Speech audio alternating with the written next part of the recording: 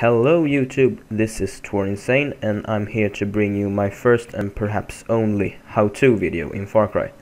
Uh, what I'm gonna show you today is how to find an animal not marked on the map and that animal is called the Moray And uh, to find the Moray first you gotta do is to go to this location called Nats Repairs and then take this boat La la la la la, swimming. And uh, then you open the map again and uh, mark about uh, maybe here on the map and interact with the boat and just take the boat over there. It's very simple.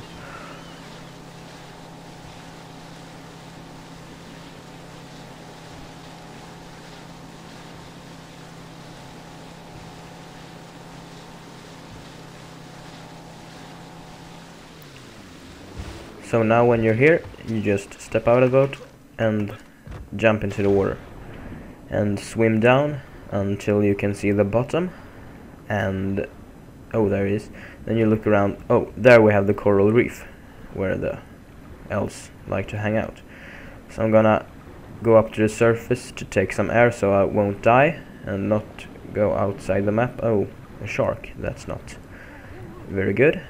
So let's swim up here take that quick sip of air and then dive down again.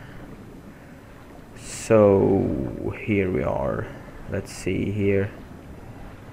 Uh, no that's those um, hmm there we go. Just gonna swim past it and then it will attack me. Space. So that's basically how you find uh, the Moray Thank you for watching.